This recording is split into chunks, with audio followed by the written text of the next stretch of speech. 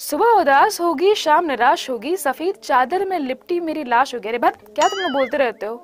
ए, मुझे दफनाने वाले, मुझे उस जगह दफनाना जहाँ मेरी मैम से मुलाकात होगी। हाय, ये कितनी औसम है। हाय। एक लिख रहा है मैं आपसे नज़र नहीं हटती, नजारे हम क्या देखें? नजारे देखोगे? घर के बाहर निकल के बोलो। पापा जो अभी बैठ के तुम्हारे अखबार पढ़ रहे होंगे या फिर अच्छा? हाँ दस बज गए ऑफ़िस निकल गए जब वो ऑफ़िस से आएँगे ना बेटा,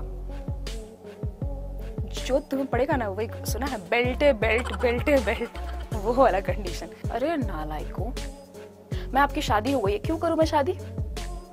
तुम लोग को बर्बाद होने का शौक के बर्बाद हो जाओ। मेरी ज़िंदगी क्यों बर्बाद करना चाहते हो तुम लोग? तुम लोग को खुश मैं अच्छी नहीं लगती हूँ। इतने सारे ट्रोलर्स हैं, देख नहीं रहे हो कितनी सारे ट्रोल्स करने वाले आ जाती है स्पेशली लड़कियाँ? हम्म? उसके बाद तुम लोग कहते मैं शादी करके और ज़िंदगी बर्बाद करूँ? पढ़ो शांति से। मैम, बोर्ड पे देखने का मन नहीं कर रहा। आसमान देखने का मन कर रहा है? फिर लिखे तुम लोग जानो। नहीं सुधरोगे? तुम्हारी जानू भाग गई है छोड़ के।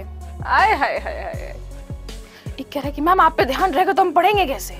जा, ये भी तो मेरी गलती है। अब क्या करें हम? यार मैं समझ सकती हूँ कि तुम लोग की भावनाओं को मैं समझ सकती हूँ लेकिन ऐसी भावनाएँ अगर करोगे तो कैसे काम चलेगा यार? हर चीज़ के पीछे की वजह।